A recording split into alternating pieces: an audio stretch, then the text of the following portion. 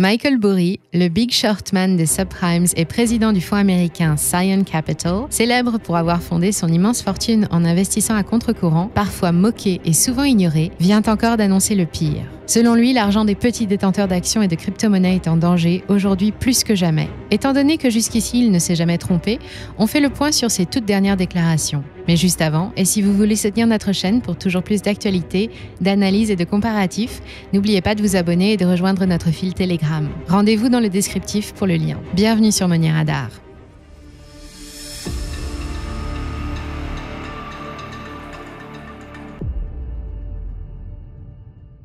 Nous vous en parlions sur la chaîne en mars dernier.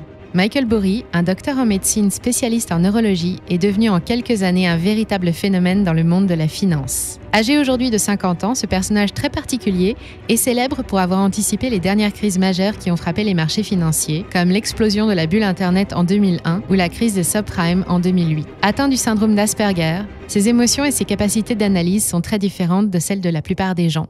Ainsi, Michael a-t-il pu voir ce que les autres n'ont pas vu et parier un milliard de dollars sur l'effondrement des crédits immobiliers américains. Plus récemment, il a également anticipé la chute de l'action Tesla, qu'il a shorté, ainsi que l'explosion du cours de l'action GME. Il utilise principalement les réseaux sociaux Twitter pour rester en contact avec ses fans sous le pseudonyme de Cassandre. Dans la mythologie grecque, Cassandre avait reçu d'Apollon le don de prédire l'avenir. Mais parce qu'elle s'était refusée à lui, elle fut condamnée à ne jamais être crue. Dorénavant, personne ne la croirait, tout comme Michael. En février dernier, il tente d'avertir ses 190 000 fans de l'imminence d'un crack. Vous pouvez aller voir ou revoir la vidéo qui a été consacrée à l'événement en suivant le lien qui figure dans le descriptif. Michael s'inquiétait alors de la hausse insoutenable des cours boursiers, encouragé par les modes de gestion de portefeuille passifs, le battage médiatique et la spéculation. Mais face à l'absence de réaction des marchés, il avait supprimé tous ses tweets. Les gens disent que je n'ai pas averti la dernière fois.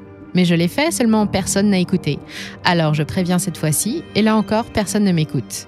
Mais j'ai la preuve que j'aurais prévenu. Après cela, il n'a plus fourni aucune information financière et il a tout simplement fermé son compte. Jusqu'à la semaine dernière. Après des mois d'absence, le Big Short Man est revenu et s'est récemment remis à tweeter. Et même deux fois plus qu'avant, car il avertit cette fois le monde entier de l'imminence, non pas d'une, mais de deux catastrophes financières. L'effondrement de la plus grosse bulle de l'histoire sur le marché des actions et avec elle, celle du marché actuel des crypto-monnaies. 1. L'explosion de la bulle action. Le 15 juin, il tweet Les gens me demandent toujours ce qui se passe sur les marchés. C'est simple, c'est la plus grosse bulle spéculative de tous les temps, en tout point. Michael Burry se désole de constater que malgré ses avertissements en février dernier, personne ne l'a écouté et les cours ont continué de grimper. Il explique ce phénomène très simplement. Tout le battage médiatique et la spéculation ne font qu'attirer des petits investisseurs avant la mer de tous les crashs. En clair, Michael en veut à ses nouveaux investisseurs, arrivés massivement sur les marchés et capables de propulser des valeurs vers les sommets sans plus aucun lien avec les réalités économiques. Selon lui, ils investissent de manière sauvage, prennent trop de risques et recherchent des rendements irréalistes. Il dénonce les actions mêmes, ces titres qui n'ont de succès que par l'intermédiaire de la rumeur sur le net ou de buzz médiatique. Il pointe aussi du doigt l'endettement des investisseurs qui empruntent de l'argent pour ensuite acheter des titres avec, ou pire, le risquer sur des produits dérivés qui sont devenus aujourd'hui plus liquides que leurs propres sous-jacents. Enfin, il voit d'un mauvais œil l'arrivée et l'influence des SPAC, ces sociétés créées uniquement dans le but d'acheter d'autres sociétés et qui pèsent aujourd'hui près de 100 milliards de dollars. Selon lui, elles sont aussi en partie responsables de la survalorisation de nombreuses entreprises de la tech, dont le secteur est de plus en plus boudé par les grands fonds d'investissement. Le 4 juin, le Dow Jones a culminé à 34 700 756 points, son plus haut historique. Il perd 4,3% depuis. Le Standard Poor's 500, lui, a atteint son plus haut niveau le 14 juin dernier, avant d'entamer une baisse à son tour, actuellement de 2,3%. Bref, la cocotte minute est sur le point d'exploser. Et deux jours plus tard, Michael remet ça. 2. Alerte sur les crypto-monnaies. Cette fois, ce sont les crypto-actifs qui l'inquiètent, et notamment le Bitcoin qui vient de subir une correction de près de 48% depuis la mi-avril. Les autres crypto-actifs n'ont pas résisté et ont eux aussi dévissé. Cette correction viendrait essentiellement de l'usage trop répandu de l'effet de levier dans le trading des crypto-monnaies. Le problème avec les cryptos, comme dans beaucoup de choses, c'est l'effet de levier. Si vous ne savez pas à quel point l'effet de levier compte dans les cryptos, alors vous n'y connaissez rien en crypto, quoi que vous en pensiez. Pour comprendre ce qu'il veut dire, revoyons rapidement ce qu'est l'effet de levier. Sous le nom d'effet de levier se cache en réalité un mode de financement. C'est le moyen le plus simple pour augmenter le montant d'un capital à investir. La plupart des plateformes d'échange permettent cet effet de levier. Elles avancent de l'argent et permettent à leurs clients de gagner beaucoup d'argent quand tout va bien. Prenons un exemple. Nous disposons de 1000 euros à investir sur Bitcoin avec un effet de levier de x3. Nous allons immédiatement obtenir 3000 euros de Bitcoin. Si le Bitcoin augmente de 10%, nous empocherons 300 euros pour 1000 euros réellement investis, soit 30% de bénéfices bruts et donc trois fois plus que prévu. Mais attention, car si le Bitcoin baisse de 10%, c'est 300 euros de moins sur les 1000 euros de départ et il est donc possible de perdre un capital trois fois plus vite. L'ennui, c'est que la pratique est très répandue et qu'elle est utilisée de façon inconsidérée. On en voit aujourd'hui les effets avec la dégringolade du marché, encouragée par d'autres effets d'annonce comme l'abandon du projet de Tesla d'accepter les paiements en Bitcoin. Selon les premières estimations, en quelques semaines, plus de 10 milliards de dollars se sont envolés de plus d'un million de comptes et d'après Michael, ça n'est pas fini.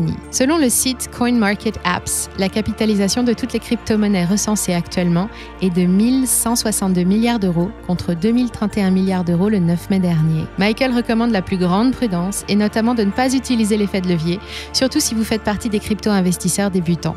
Il complète ensuite son premier tweet une heure plus tard de façon très pessimiste. Lorsque les cryptos perdront des milliards et que les actions MIM feront de même par dizaines de milliards, les pertes de Main Street approcheront celles des pays. L'histoire se répète. Il est vrai que les derniers avertissements de l'oracle maudit de Wall Street se sont tous avérés et qu'une nouvelle fois, Michael est sûr de lui. À tel point qu'il shorte toujours les valeurs technologiques et qu'il refait surface sur Twitter. Et une nouvelle fois, il pourrait avoir raison. La capitalisation totale des crypto-actifs fond déjà comme neige au soleil et les principaux indices boursiers américains enregistrent une baisse sensible pour la première fois depuis des semaines. Difficile de ne pas sentir le vent tourner et l'ensemble de l'économie américaine a donc à présent les yeux tournés vers la Fed, car une hausse des taux directeurs américains pourrait mettre le feu aux poudres. En mars dernier, Jérôme Powell rassurait les marchés en annonçant que les taux resteraient fixes tant que le pays n'aurait pas retrouvé un niveau d'activité normal, autrement dit que le niveau de chômage baisse et que l'inflation remonte à 2%. Et la semaine dernière, la Fed s'est félicitée des résultats de l'économie américaine et des progrès réalisés dans la gestion de la crise sanitaire. À cette occasion, une première hausse des taux pour 2023, peut-être même avant, dès 2022, ainsi qu'une baisse des rachats d'obligations, principale source de financement de l'État américain, ont été évoquées, jetant un coup de froid sur les marchés. C'est donc avec beaucoup de prudence qu'un placement sur les valeurs technologiques, les produits dérivés ou les crypto-actifs doit être envisagé, sans emprunter, sans utiliser de levier et uniquement avec de l'argent dont vous n'avez pas besoin.